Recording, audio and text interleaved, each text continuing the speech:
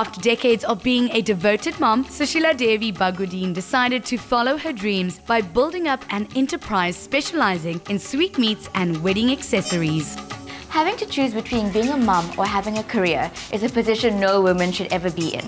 But there are times in life when one has to put certain priorities above others. However, inspiring women are proving that it's never too late to start pursuing your dreams and your goals. Sushi Bagwandeen is one of these inspired women, and I cannot wait to meet her. Hello. Hello, How, how are you? you? Oh, so lovely to see you. You too. Come in. Thank you.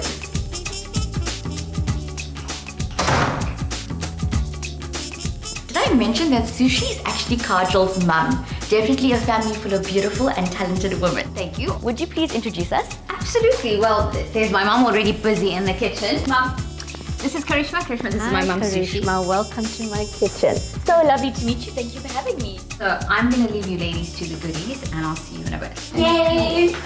This looks exquisite. Come, Carishma, to show you what I do. Sushi, tell me a bit about your business and how did it come about?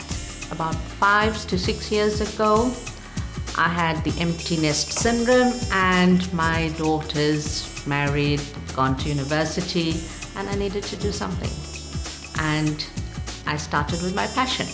We come from a family of six girls, and they are all excellent cooks and excellent bakers. I don't have the patience for baking. I'm more of an experimental cook type, but I'm so interested to learn to make some sweetmeats. What are you going to teach me today? Come, Carishma, let's go and make some penda. Lovely. Come, let's go in the kitchen. Okay, Sushi, what are we going to be doing first? Okay, Carishma, we need powdered milk, 500 grams of powdered milk. You want to help me? Yes. Milk in. Go. Wait. One cup of fresh cream. I'll do this part, Carishma. It's a bit messy. We just need to mix this up Okay. and leave it to dry up for an hour, and then we're going to blend.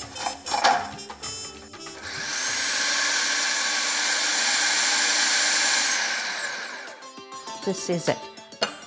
We now decant it Oh, so it actually returns to a powdered form. again. Again. Okay. All right, bring it up here. 500 grams of icing sugar. Okay, now we're going to put our flavorings. Spices, cardamom, one teaspoon. I love that you don't use any measurements as well. I the same way, just with, with my hands. Okay. And a drop of rose essence. It's quite strong, so you just need a drop of it. And condensed milk. Oh, it smells beautiful already. You need about a cup of condensed milk. What consistency are we Uh, looking for? the identical consistency of what we originally had. Perfect. All right, so what we're going to do is once this is done, put it in the blender again.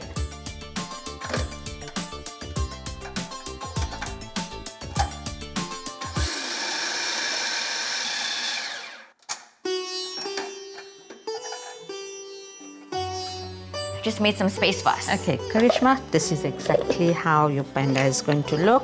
Now comes the exciting part. Carishma, we're going to add coloring to it. With Eid coming, Carishma, let's do a colorful Eid. Perfect. Right. You want to go ahead? We need. You want to go ahead and do Yes, it? Yes, I'd love to. Just mix it in until you get a lovely light pink. Is that There, looking that's good? it, Carishma. Perfect. All right, now we need to mold. We've got this into a lovely ball. Carishma, gloves are out. Perfect.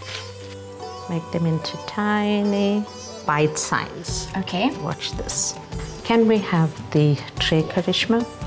Of course. Look at that. What a clever trick!